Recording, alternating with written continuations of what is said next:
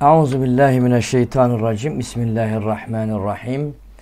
Ee, Allah'ın selamı, rahmeti, bereketi üzerinize olsun. Ee, riya ile ilgili mevzumuzda kalmıştık. Hadisler, ayetlerle ilgili e, Peygamber Efendimizin hadislerinden, Allahu Teala'nın ayetlerinden örnekler vermiştik. Sonuç olarak birkaç e, riya ile yapılan amellere örnekler bugün dersimizde vereceğiz. Şimdiye kadar hadislerden ve ayetlerden çıkardığımız riya ile ilgili sonuç nedir? İbadette riya gizli şirktir. Müslümanlara her işlerinde gösteriş değil, ihlas ve samimiyet yaraşır. Riya imanın aslını ortadan kaldırmasa da amellerin sevabını götürür. Allahü Teala kendisine asla ortak koşulmasına razı olmaz. Riya ve gösteriş insanı sonuçta şirke kadar götürebilir. Allah muhafaza eylesin. Evet. Şimdi kardeşlerim e, Peygamber Efendimiz Aleyhisselatü Vesselam riya ile ilgili amelin kabul edilmemesine e, şu üç misali veriyor. Bunu da bilmemizde fayda var. Evet nedir bunlar? E, kıyamet günü hesaba ilk görülecek kişi e, bunlar tabi temsili yani e, şehit e, getirilir diyor. E, ilim öğrenmiş, e, öğretmiş, ilim öğrenmiş ve öğreten kimse bir de her çeşit malını ve imkan verdiği bir kişi bu malını infak eden kişi. Bu üç temsil olarak veriliyor. Bunlar nasıl zikrediliyor hadis-i şerifte? Bir ona bakalım.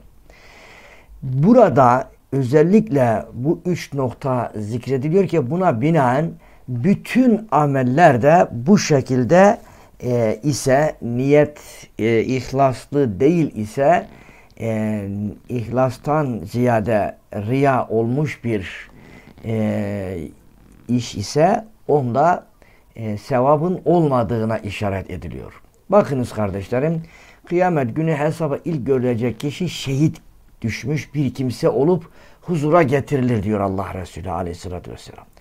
Allahü Teala ona verdiği nimetleri hatırlatır. O da hatırlar ve bunlara kavuştuğunu itiraf eder. Cenab-ı Hak peki bunlara karşılık ne yaptın buyurur. Yani bu kadar sana nimetler verdim bu nimetlerime karşı ne yaptın der. O da şehit düşünceye kadar senin uğrunda cihad ettim diye cevap verir. Evet, cihad etmek. Yani canını feda edecek kadar bu yolda mücadele ettim der. Ona denilir ki yalan söylüyorsun sen.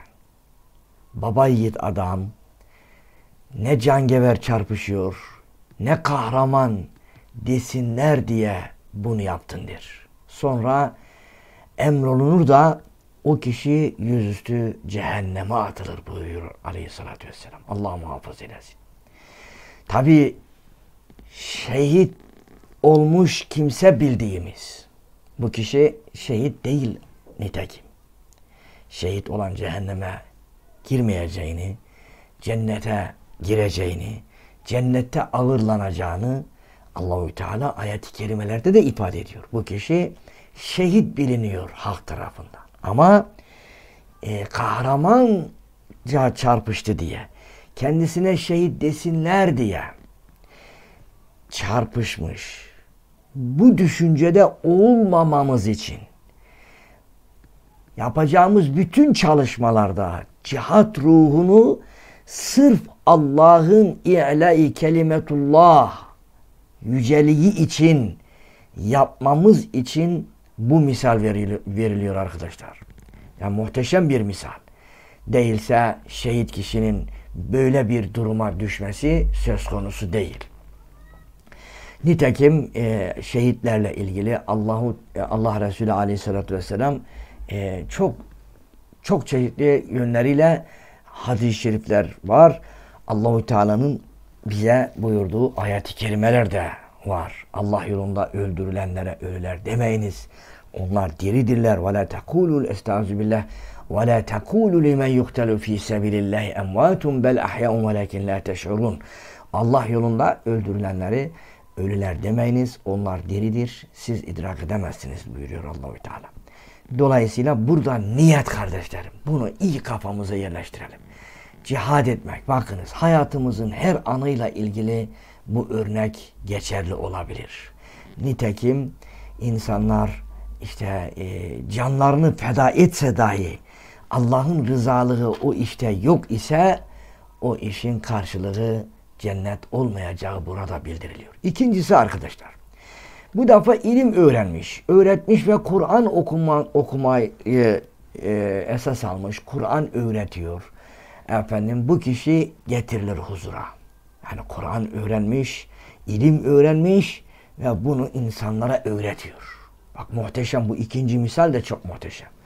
Allahü Teala ona verdiği nimetleri hatırlatır ve o da hatırlar ve itiraf eder. O da aynı birincisinde olduğu gibi e, aynısı e, bu şekilde şey yapar. E, der ki ilim öğrendim, öğrettim ve senin razan için Kur'an okuduğum cevabını verir. Allahu Ekber. Senin rızan için Kur'an okudum. Senin rızan için ilim öğrendim ve bunu anlattım der. Ya aziz kardeşlerim ister profesör olun, ister doktor olun, ister ne olursanız olun, eğer kariyerinizde, eğer çalışmalarınızda, eğer öğrettiklerinizde Allah'ın rızası değil de şöhret ise, makam ise, mevki ise Allahu Teala onun karşılığını mahşerde işte bu şekilde bu misalde yalan söylüyorsun sen. İlim öğrendi. Alim desinler diye ilim öğrendin. Ne güzel okuyor desinler diye Kur'an okudun. Ya Allah muhafaza eylesin. Bunlar da senin hakkında da söylendi. Buyurulur. Ve sonra da emrolunur. O da yüzüstü cehenneme atılır kardeşler. Allah muhafaza eylesin. İşte bu da arkadaşlar e, bizim hayatımızda ne yönlü e, ilim öğrenmemiz gerektiğini, ne yönlü anlatmamız gerektiğini bize gösteriyor. Evet bizlere alim desinler diye, bizlere bizlere e, taltif edilsin, övülsün diye, insanlar tarafından takdir edilsin diye yapılan bir e, çalışmanın karşılığı hüsrandır arkadaşlar. Allah muhafaza eylesin. Bak bu üç misali hiç unutmuyoruz. Allah yolunda canını feda eden, o noktada ettiğini zanneden, tabi Allah yolunda canını e, feda edenler e, bundan müstesnadır. Onlar şehitler. Şehit kendini addeden, şehit kendini zanneden tabaka, kısım. İkincisi ilim öğrenen, ilim öğreten, Kur'an okuyan, yani vay be ne güzel okuyor ya muhteşem. Ama öyle değil de e, sırf işte insanlar bir şey öğrensin. insanlar toplum bozulmasın. Toplum İslam üzere devam etsin.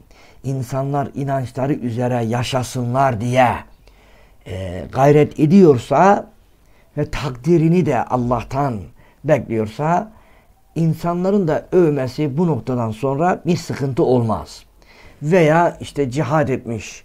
Allah yolunda niyeti Allah'ın rızasını kazanmak olmuş. Ondan sonra e, bu kişi de tabi insanlar tarafından e, sevilip e, takdir ediliyorsa bunda da e, zarar olmaz arkadaşlar. Üçüncüsü arkadaşlar daha sonra da Allah'ın kendisine çeşitli mal ve makam verdiği bir kişi getirilir. Serveti fazla ve Allah verdiği nimetleri ona yine hatırlatır ve o da nimetlerini itiraf eder. Evet ya Rabbi sen bu kadar nimetleri bana verdin. Sana şükürler olsun der. Peki ya sen bu nimetlere karşılık ne yaptın? Denir ona da arkadaşlar. Evet. Ona da aynı şey söylenir. Verilmesini sevdiğin, razı olduğun için bir yerden esirgemedim. Sadece senin rızanı kazanmak için verdim harcadım der. Başka yerlere vermesini esirgeyip Ama senin rızan için bunu yaptım der. Evet. Dili böyle söyler ama niyet bu değil ise o zaman ona denir ki yalan söylüyorsun. Halbuki sen bütün yaptıklarını ne cömert adam, ne kadar infak eden bir adam desinler diye yaptın. Ve öylece emrolunur, bu şekilde yüzüstü cehenneme atılır buyuruyor aleyhissalatü vesselam. Arkadaşlar. Arkadaşlar burada e, şunu anlatmakta, e, vurgulamakta fayda var. Samimi bir niyete dayanmayan amel ve hareketler ne kadar önemli ve faydalı gözükse de sonuçta azap ve pişmanlıktan başka bir işe yaramıyor. Bunu keşke bir anlayabilsek. Çok önemli arkadaşlar. Bu var ya hepimize ihtiyaç. Hepimizin bundan ders almamız gerekiyor arkadaşlar. Çünkü bundan gaflete düşüyoruz. Gafil oluyoruz. Niyetlerimiz bazen kayıyor. Allah muhafaza eylesin. Her zaman yoklamamız gerekiyor. Bir insan isterse bu manada hayatının bütün alanlarını e, ibadetleştirebilir. Evet arkadaşlar. Şehitlik, alimlik ve zenginlik gibi meziyet ve imkanları sırf gösteriş ve desinler uğruna kullananlar, kullananlar ilahi huzurda yalanlanarak yüzüstü cehenneme atılacakları burada bildiriliyor. Bu demektir ki arkadaşlar dini istismar eden, onu dünya çıkarlarına alet etmeye kalkışan kişiler kimlikleri ve yaptıkları ne olursa olsun ahirette yalan söylüyorsun diye azarlanmak ve cezaya çarptırılmaktan başka hiçbir şeye yaramaz. Onlar hüsrana uğrayanların ta kendileridir. Dini dünyalık için talep etmek de böyledir arkadaşlar. Allah muhafaza eylesin. Öğrendiği ilmi, özellikle özellikle vasfını, e, makamını dünyalık bir takım yerlere varmak için e, kullanması da e, riyadır arkadaşlar. Bunun da e, korkunç hüsran olduğu bildirilmekte arkadaşlar. Evet arkadaşlar, riya münafıkların sıfatıdır. Bunu iyi bilelim. Riya gösteriş münafıkların sıfatıdır arkadaşlar. Müslümanların sıfatı değildir. Böylece acı bir akıbetle karşılaşmamak için yapılan iyilikleri başa kalkmamak, onları unutmak suretiyle Allah katında bereketlendirmeye ve karşılığını sevap olarak döndürmeye çalışmamız lazım. Yapılan iyilikler Allah rızası için olduktan sonra insanların takdirini niye beklesin ki insan? İşte bunu bu şekilde yapmadığımız takdirde başarıya da eremiyoruz. Faydalı da olamıyoruz arkadaşlar. Maalesef ben bu kadar anlatayım. Siz bundan çok şey anlayın arkadaşlar. Bu konuda Allahu Teala bakınız münafıklara ne buyuruyor? Evet münafıklara bu konuda Nisa suresi ayet 142'de. Estağfirullah. İnnel münafikine yuhadi'un Allah ve huve khadi'uhum ve izâ kâmu ila salati kâmu kusâle yurâûnen nâse ve lâ yezkurûnallaha illâ kalîle. Allahu Ekber. Görüyor musunuz arkadaşlar? Ne buyuruyor bu ayet-i kerimede? Münafıklar Allah'ı aldatmaya çalışırlar. Allah da onların bu çabalarını boşlarına, e, başlarına geçirir. Yüzlerine vurur. Onlar namazı kılarken üşenerek, tembel olarak kalkarlar. istemeye istemeye kalkarlar. İnsanlara gösteriş yaparlar. Ve Allah'ı pek az anarlar. Allahu Ekber. Arkadaşlar bakınız gösteriş, insanlara beğenilmeye çalışmak. Münafığın özelliği olarak burada zikrediliyor. Gösterişe hiç gerek yok. İnsanlar desinler diye hiçbir harekete gerek yok. Aman insanlar nedir bize? Aman insanlar ne söyler bizim hakkımızda? Bizim hakkımızda Allah ne söyler? Allah biz bu yaptığımızdan razı mı dediğimiz an gönül huzuruyla yaşamaya başlayacağız arkadaşlar. Bu bağlamda her türlü hayatın her alanında, her safhasında bunu uygulayabiliriz. Bakınız bugün insanlar problemleri aşamamanın içerisinde boğuşurken e, Allah'ı hesaba katmayıp insanları hesaba katarak ya bana ne derler dedikleri için o problemleri çözemiyorlar. O problemleri çözemedikleri için e, pişmanlıklar veya e, iç dünya iç dünyalarındaki e, huzursuzlukları bir türlü atamıyorlar. Onun için arkadaşlar bakınız ayet-i kerimede ayet-i kerimede yine her gün okuduğumuz bildiğimiz bir ayet-i kerimede estağfirullah feveylul lil musallin. Ya ellezine hum an salatihim sahun ellezine hum yuraun ve yemnaunel maun ya bu konuyu arkadaşlar çok çok içselleştireceğiz arkadaşlar. Bütün hayatımız boyu bu e, ihlas sıddı olan riyayı bilip ve bununla ilgili hayatımızı kodlayarak hayatımızın her safhasından bu riyayı uzaklaştırmamız gerekiyor. Bakınız. Gördün mü o hesap ve ceza gününü yalanlayanları? Fevailül lil musallin. Gördün mü o dini yalanlayanları, namazda namazdan gafil olanları, namazdan gafil olanları Elem tera keyfe feale rabbuke bi ashabil fil Eraeyte estağfirullah Eraeytellezî yükezzibu biddin Görmedin mi? Gördün mü o dini yalanlayanları? Eraeytellezî yükezzibu biddin Fezâlikellezî yedû'ul yetim Allahu Ekber. Onlar yetimi, yoksulu ite kalkarlar. Ve la yahuddu ala taamil miskin. Miskini de doyurmazlar, doyurana da engel olurlar. Ve onlar fevailül lil musallin. Onlar namazlarından gafildirler. Ellezine hum an salatim sehun. Gösteriş için yaparlar. Yetimi ite kalkar, yoksulu yedirmeyi, özendirmeyi kimselere tavsiye etmezler, özendirmezler. Ve onlara yazıklar olsun o namazlarından gafildirler diyor. Onlar namazlarını ciddiye almıyorlar. Onlar namazlarında gösterişli halindedirler. Ufacık bir şeyi bile ödünç vermezler. Ve insanları yardım yapmaktan da engellerler.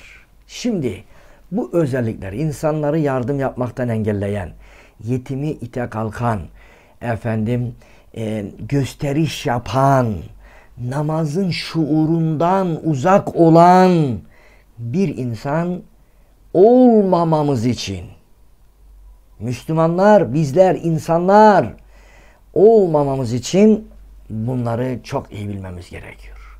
200'lü kişilerin en belirgin vasıflarından biri tüm yaptıklarını gösteriş için yapmak.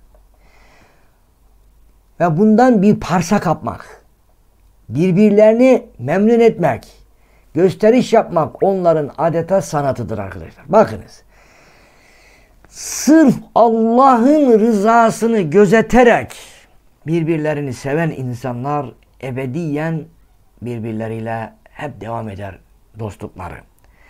Ama dünyalık bir menfaat, bir makam, efendim e, bir e, beklenti içerisinde olup e, ilişki kuran dostluklar olan toplumlarda, kişilerde ayrılıklar çok uzun sürmez. Çünkü orada samimiyet yoktur. Orada menfaat bittiği an e, ayrılıklar başlar. Evet. E, bunu da bu şekilde bilmekte fayda var. Böylesine sahteciliğin temelinde arkadaşlar Allah'ı çok az hatırlamak yatıyor. Yani bu sahteliciliğin altında yatan gerçek Allah'tan uzak olmak. Allah'ı anmaktan maksat zikretmek böyle dil ile Allah Allah demek değil arkadaşlar. Allah'ı anmak demek Allah'ın rızasını gözetmek. Evet. Allah'ın rızasına göre hareket etmek. Haramlardan uzak durmak. Evet. Bunu öyle bileceğiz. Allah'ı yeterince hatırlamayan, onu asla aldatamayacağını da bileceği için sahtecilik yapmaz arkadaşlar. Allah'ı nasıl aldatacaksın? Allah'a inanan adam, Allah'a inanan insan Allah'ı aldatmaya kalkar mı? Çünkü böyle bir düşünce inançla çatışır. İnanan insan gizli ve açık olan her yerde Allah'ın kendisini gördüğünü, işittiğini, her şeyi sınırsız, sonsuz bildiğini bilir ve ona göre Allah'a teslim olur mümin. İşte münafık kardeşlerim Allah'a kalben iman etmediği için ne yapıyor? Allah'ı aldatmaya başlıyor. Aldattığını zannediyor arkadaşlar. Evet. Anlaşılıyor mu arkadaşlar? Evet inşallah anlaşılıyor. Dolayısıyla arkadaşlar biz burada e, neyi anlıyoruz? Kesinlikle ve kesinlikle yapılan bütün işlerde Allah'ın rızası yok ise karşılığı da yoktur. Evet. Bak şu dersimizde bile arkadaşlar. Siz dinliyorsunuz ben anlatıyorum değil mi arkadaşlar? Ben eğer sizden bir takdir bekliyorsam veya bir ücret bekliyorsam misal olarak ben bunu veriyorum tabi. Veya bir aferin bekliyorsam veya işte e, bir yerlere varmak istiyorsam bunun Allah'ın katında hiçbir değeri yok arkadaşlar. Bunun asla değeri yoktur. Sizler de bu dersi ya yani tabii öyle değil de yani misal olarak veriyorum. Ya işte işte ben bu dersi dinleyeyim ya hocam gelmedi demesin veya hocama ayıp olmasın. Zaten böyle bir durum yok söz konusu değil. Böyle bir durum misal olarak veriyorum. Veya başka bir şey de ekleyebilirsiniz buna. Bu dersi dinlemenizin hiçbir faydası yok. Hiçbir manası da yok arkadaşlar. Ha öğrenirsiniz ama e, bir şeyler öğrenirsiniz ve onu da yaptığınız zaman tabi ihlasla yaparsanız tabi onun ayrı sevabını alırsınız. Ama şu anda bile şu saatte bile bu ders esnasında ibadette olduğunuzu bilesiniz. İbadet. Evet. Ve Allahu Teala'nın en sevimli mekan ve zaman dilimini yaşıyorsunuz şu anda. En sevimli. Evet. Onun için bu vaktin kıymetini bilmemiz lazım. Ben ayrıyeten sizlere ayrıyeten teşekkür ediyorum bu imkanları bize verdiğiniz için. Allah hepinizden razı olsun arkadaşlar. Evet. Bu vesileyle arkadaşlar insan Allah'ı asla hatır, e, e, hatırından çıkarmayacağını mümin özellikle bilecek. E, münafıklık vasıflarından uzak duracak ve e, tam bir ihlas ile Allah'a dayanacak ve ondan sonra mükafatını da kat kat bekleyecek alacak. Değilse iflas eder. Riya ve gösteriş de esasen arkadaşlar insanı iflastan başka bir sonuca götürmez. İflas. Hiçbir karşılığı yok. Evet. Bir de arkadaşlar bu konuda, bu konuyla ilgili idarecilerin yanında ayrı, uzaklarında ayrı olmak gibi bir olay var. İdarecilerin, efendim, e, idare eden, işte fabrikatör olabilir, e, efendim dairedeki mesai arkadaşı bir şefi olabilir, bir amiri olabilir. Bu gibi durumlarla olan münasebetlerde de riyalık, riyakarlıklar var arkadaşlar. Bunları da bilmemiz gerekiyor. Bu konuda arkadaşlar e, bakınız e, İbni Ömer radıyallahu anh'tan rivayet edilen bir hadis-i şerifte bakınız ne buyuruyor? Ee, biz idarecilerimizin yanına girer ve onlara karşı oradan çıktığımız zaman söylediklerimizin tam zıddı olan sözler söyleriz dediler. Bunun üzerine İbn Ömer hani böyle geldiler İbn Ömer radıyallahu anh'a söyler ve bunun üzerine bakınız İbn Ömer radıyallahu anh ne buyurdu? biz bu sizin yaptığınızın Resulullah sallallahu aleyhi ve sellem zamanında iki yüzlülük sayardık buyurdu. Görüyor musunuz? Yani idarecilerin, e, patronun, iş sahibinin yanında veya resmi dairede e, bir üst makamda olan idarecisinin yanında e, gayet güzel bir tavır sergiliyor ama onun yanından çıktıktan sonra onun zıttına, onun e, tam tersine bir tavır sergiliyor. Bu aynı zamanda hem iki yüzlülük olur arkadaşlar hem de riyakarlık olur. Evet. İbn Ömer radıyallahu anh biz bunu Peygamber Efendimiz zamanında iki yüzlülük sayardık diyor. Evet arkadaşlar. Arkadaşlar Allah riyakarların gizli işlerini açığa çıkarır. Bundan hiç şüpheniz olmasın. Riyakarlı olan insanların rezil ve rüsvay olmaları dünyadayken görülmüştür arkadaşlar. Bu konuda bakınız arkadaşlar e, Nebi Aleyhisselam ne buyuruyor Peygamber Efendimiz bizlere? Kim işlediği hayrı iyi dinleyin arkadaşlar. Kim işlediği bir hayrı şöhret kazanmak için halka duyurursa kendinden e, kendinin üstünlüğünü, kendinin ne yüce birisinin olduğunu göstermek için yaptığı bir hayrı halka duyurursa Allah onun gizli işleri, işlerini halka duyurur. Allahu Ekber. Allahu Ekber. Allah da onun gizli işlerini halka duyurur. Kim de işlediği hayrı halktan takdirini kazanmak için başkalarına gösterirse Allah da onun riyakarlığını açığa vurur. Allahu Ekber. Allahu Ekber. Müthiş bir hadis-i şerif arkadaş. Kimde işlediği hayrı hakkın takdirini kazanmak için başkalarına gösterirse yani takdir edilmesini bekliyor. Bu da Allah da onun riyakarlığını açığa vurur arkadaşlar. Demek ki burada da bizlere önemli bir ders veriliyor arkadaşlar.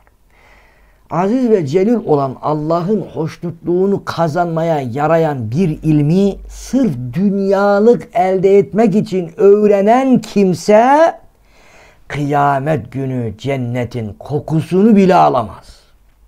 Allahu Ekber. Görüyor musunuz arkadaşlar? Burada hiçbir karşılık yoktur arkadaşlar. Ameller niyetlere göre karşılık bulur. Dolayısıyla arkadaşlar gösteriş yapmak ve birbirine duyurmak maksadıyla da desinler diye ortaya konan işlerin Allah katında hiçbir değeri olmayacağını bilmesi gerekiyor Müslüman. Böylece davrananların eline neticede sorumluluktan başka olumlu hiçbir şey geçmeyecek. Evet. Değişik örnek ve anlamlarda bu gibi konulara birçok olaylarla e, örnekler verilebilir arkadaşlar. Biz e, burada bu örneklerle yetinmiş olalım. Bu hadislerin neticesinde okuduğumuz hadisi şeriflerin neticesinde son olarak madde madde e, alacağımız ders maddeler halinde özetleyecek olursak bir iki dakikalıkla ve bununla son bulalım. Ne anlıyoruz? Ne anladık? Bir, amellerin makbuliyeti, kabulü sırf Allah rızası için yapılması gerekir arkadaşlar. Amellerin kabulü Allah'ın rızasına bağlıdır. Allah'ın rızası yok ise o amelde o amel kabul değildir. İki, iyi ve ihlas bir niyetle yapılmayan işin Allah katında hiçbir kıymeti yoktur. Dünyalar kadar servet bahşetse de, canını da feda etse, en güzel Kur'an'ı, en güzel ilmi anlatsa da, sırf Allah rızası için olacak. Üç, Müslümana her işinde gösteriş ve desinler arzusundan uzak olmak yakışır. Desinleri bırakacağız. Dört, riya ve süm'a dediğimiz gösteriş ve desinler niyetini insanı münafıklık durumuna düşüreceğini bilmemiz gerekir. Evet. İnsanı münafıklık durumuna düşürür arkadaşlar. 5. Riya ve süm'a dini ve dinde kutsal olan şeyleri istismar etmek demektir arkadaşlar. İstismar ne demek? Niyeti başka, yaptığı iş başka. Evet. Dini istismar ne demek? Bir insan dükkanında Allah'ın dediği olur yazıyor ama içinde raflarında içki satıyor. Bu Allah'ın dediği olur lafzını niye koyuyor? İnsanlar ha ya bu adam Müslüman desin. İşte ha bu adam ya iyi bir insan. Veya içeride içeride bir Müslüman mahallede, dindar bir toplumda, dindar bir mahallede yaşıyor diyelim. İşte e, yine bir şey iş yeri çalıştırıyor. İşte Kur'an dinliyor. Dışarıya da Kur'an duyuluyor. E, niyeti ya işte insanlar duysun ha bu adam iyi bir insan. E, benden gelip alışveriş yapsınlar. Niyeti bu. Düşüncesi bu. Ama arzusu ya Kur'an okuyayım, dinleyeyim. İnsanlar da Kur'an duysun. Kur'an'dan gafil olmasınlar düşüncesi değil ya. İnsanlar duysun ve benden alışveriş yapsın. Bu dini istismardır arkadaşlar. Veya e, işte dini duyguları kullanarak bir iş yapması. Evet. Bunlar e, uygun değil arkadaşlar. Altı, ihlas her amelin başı ve her türlü kötü duyguların düşmanıdır arkadaşlar. İhlas. İhlas insanı götürür. İnne sıdk doğruluk yehdi ilel bir iyiliğe götürür. Doğruluk. Ve inner racule le yastuka hatta yuktebe indallahi sıddıkan. Evet, ihlaslı olan kişi doğru hareket eder. Doğru hareket ettikçe cennetlikler listesine yazılır. Son olarak arkadaşlar Allah'ın rızası ancak ihlas ile kazanılır. Evet, sözün özü burada. Allah hepinizden razı olsun. Arkadaşlar e, bir dersimiz kaldı bu konuda.